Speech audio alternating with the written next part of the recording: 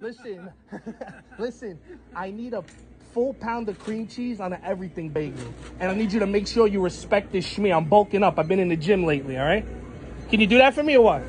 I need the full pound on the bagel, cuz. Oye, full pound. Yeah. You want to weigh it out with like the half pound containers to make sure? already full pound. I, I know what a full pound looks like, bro. Yeah, exactly. You put it in that. See, this guy's a professional right here. See? There we go. Fucking beautiful, cuz. It's exactly what I need to see. Beautiful, right? Yo, you went to the one in there. Yes, cuz. Yes. See, this guy knows, bro. shoulda came here. Yo, that's why I'm here, bro. See if they can hook me up. Let's see. A full pound. Forget a half a pound, cuz. I need a full pound. Make sure you get all of that out there, man. You gonna be able to wrap that up, you think? Yeah, man. You sure? Yeah. That might be tough, cuz. Good luck wrapping that up.